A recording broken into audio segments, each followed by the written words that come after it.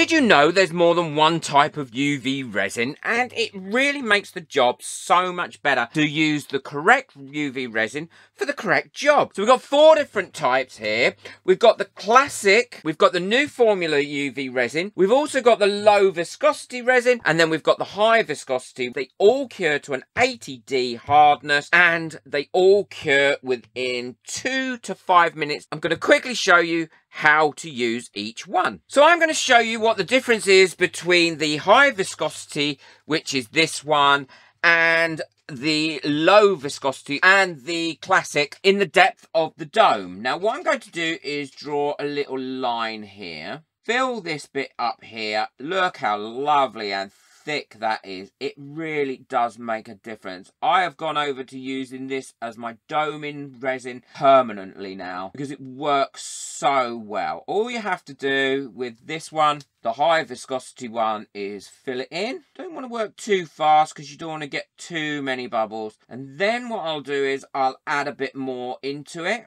and you can add quite a lot because as I said it is very high viscosity. This is on this old heart that I made a long time ago showing how you can get some beautiful patterns with normal resin colors as opposed to having to use alcohol inks. Although I've found alcohol inks now that I really like.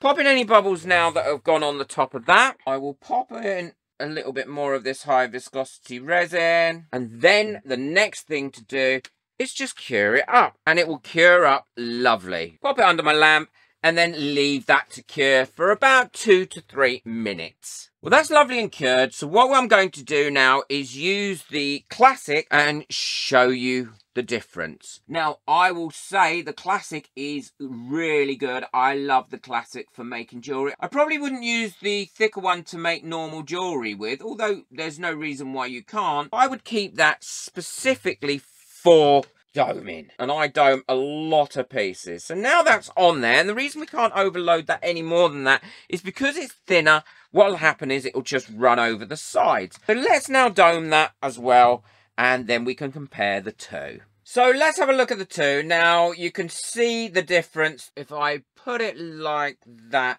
you can see the difference. The slow flowing high viscosity one is quite a couple of mil higher than the other one. I mean, they both give really good results. Look at them. But look at that beautiful dome on there. You really can see the difference. So, ideal for doming. But that doesn't mean your classic is no longer of any use because it's the classic one I would certainly use for making jewellery because you can still make some beautiful jewellery in and it's a great price. So we can do a few layers like that. We can stick a few wonderful sequins in. So this still really does have its home and its place. I will link these in the description below because they are brilliant. Once I found them, I use them so often. And then once we've got that how we want it, we can just cure it up as normal. Take about two to three minutes to cure that up. And once that first layer is cured, if we want to, you can put a backing on this. And believe it or not, I'm going to do this with some black glitter. All I've done is put my black glitter into a little jug, squeeze some of that UV resin out, mix that all around in there, and this is the classic one, and then I'm going to pour that over the top of what's already cured. All the way around, making sure I get round my little loop as well. Cover the whole base. And the easiest way to get any of the glitter out of there is just cure that up as well in there. and put that under your light at the same time and it'll just peel out. I always pop the bubbles that have come up because you always get a few bubbles in it once you've added glitter and then give that a cure. So that's with the classic. So let's take a look at this one. This should be all lovely and cured up now, and it is. Look at that.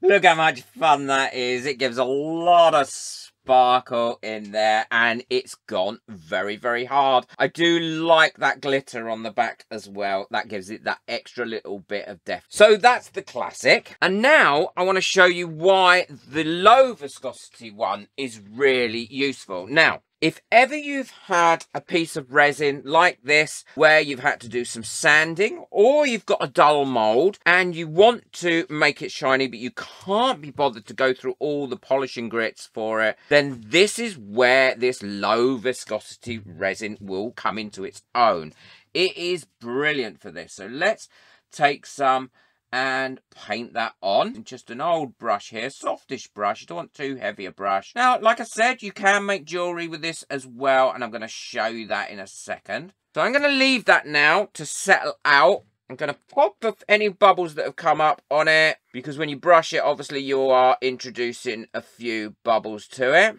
And because we're working in an area here where there is no natural light, it's absolutely fine to be leaving that for a few minutes for them to come up. Now, the other way is, if you've got a really intricate mould, which I have here, and I've already painted it inside with some mica powder, and you want it to get into all those little intricate pieces, then this is where the low viscosity resin is brilliant because it flows really easily and it will get into all those lovely little nooks and crannies and give you a great result. There we are. There's enough in that. Just pull apart these edges. There we go. So that's all nicely poured. And all we need to do is cure this up. And then I can cure up the block as well.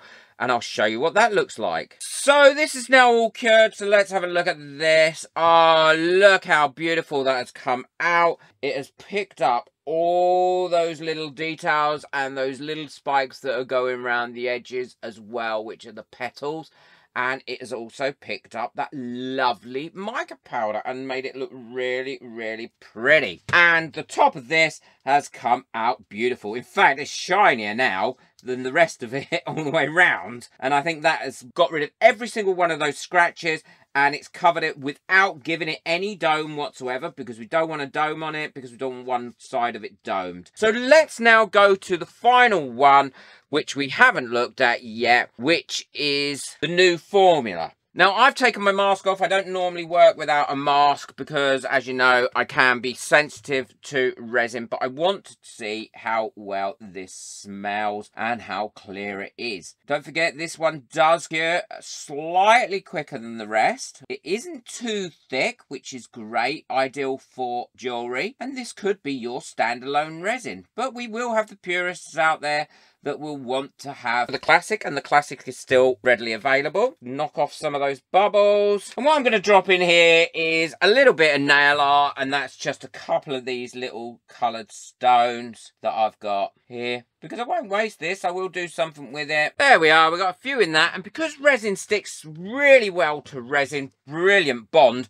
what I'm going to do is dome this one up afterwards using the higher viscosities. But I want to see if this smells at all. Well, I can smell slightly something from it, but absolutely, it is much lower odour than the other items. Although I will always still wear a mask when I use it. But what it's not going to do is make my room smell. But it's curing up lovely. Well, there we go. That one's all nicely cured. So we can take that out of there. And then what I'm going to use is the high viscosity one. Then afterwards to be able to cure it. And because it's got a nice high viscosity, it should just sit around the little opening that's in the mould to put the jump ring through. Again, we just need to go around that a little bit slowly all the way around. And then I fill in the middle. And also, you don't have to wait then all 24 hours for your epoxy resin to cure if you're doming things. Burst any bubbles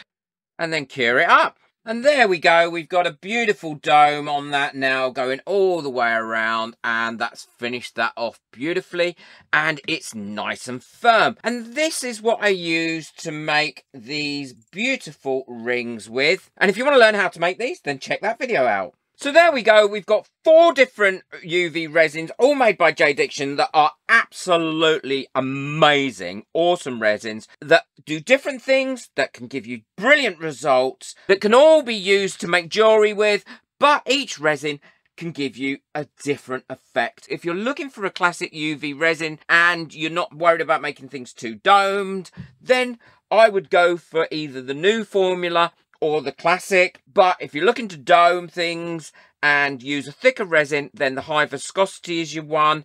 And definitely the low viscosity if you want to do really detailed that aren't sticky. Look, none of them are sticky. No fingerprints left in them at all. And you want it on hand as well to be able to cover things up if you've got scratches or anything like that or a dull mold. Hope you found this really useful, this whistle stop tour of UV resin. I've got loads of videos on UV resin on how to use it and different projects you can use it for. So be sure to check those out. Please boot the like button, really helps my videos to get out there. And thank you to everyone that got me a coffee last month. I can't tell you how much I appreciate them and they really do keep me going and allow me to keep buying these products and to show you the differences in these products. So thank you. Hit that subscribe button and ring that bell so you don't miss out on any future videos. Take care. Enjoy your resin. Bye.